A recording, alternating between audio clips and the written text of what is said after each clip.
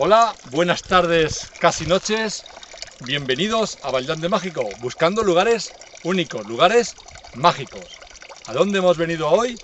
A un lugar que no conoce nadie, absolutamente nadie. Esta es la fuente de Valdecid. Aquí, aquí, este lugar se conoce como Valdecid, es decir, el lugar donde el Cid campeador acampó el último día antes de salir al destierro. La gente del lugar ha recordado su nombre. ¿Por qué? Porque tan importante fue ese día que las campanas de las iglesias tañían.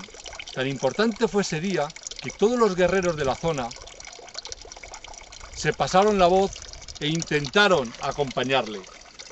Esos guerreros estaban en un río que empieza justo ahí debajo. Ese río es el río Gromejón y se caracteriza porque siempre tiene agua. Ahí hay una gran laguna, es la gran laguna de Valdejimeno.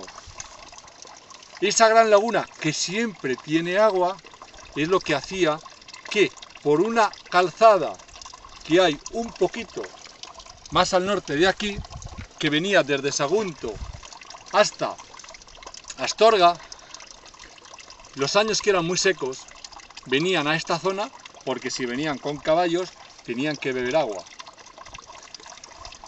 Así que imagínese usted al Cid, más de 100 caballeros, sus tiendas de campaña, buscando gente.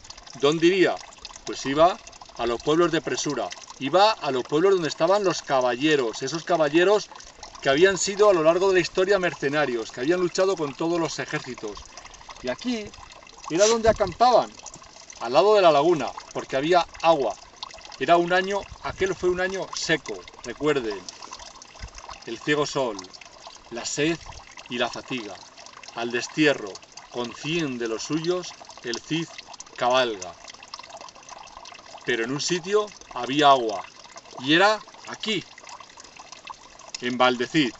Por eso se recuerda su nombre. Es un nombre que no aparece en los libros de historia, pero es un nombre que la tradición, la tradición oral de toda la gente de Valdiandi y de los alrededores lo ha sabido conservar.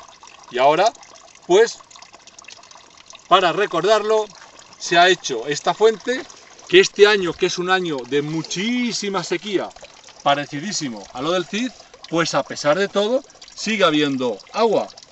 Y tenemos aquí a nuestro héroe histórico, al Cid, al Cid campeador, al que luchó por unos ideales. Así que nada, recuerden, buscando lugares únicos, buscando lugares mágicos, somos los únicos que hemos llegado hasta el último sitio donde acampó el Cid antes del destierro. Recuerden que aún existe una forma radicalmente diferente de buscar los sitios y eso es los viajes de Valdeán de Mágico. ¡Adiós!